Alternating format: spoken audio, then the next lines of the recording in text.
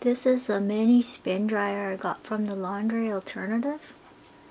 And it has a 2.2 pound capacity. And it's electric.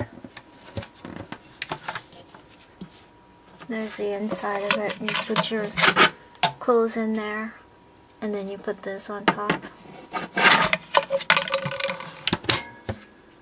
And it just drains into the sink.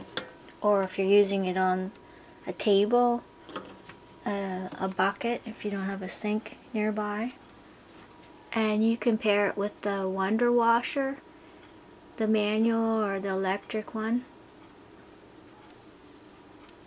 And it's great for t-shirts and stuff. It'll do one pair of jeans, baby clothes, hand towels and things like that. Thanks for watching.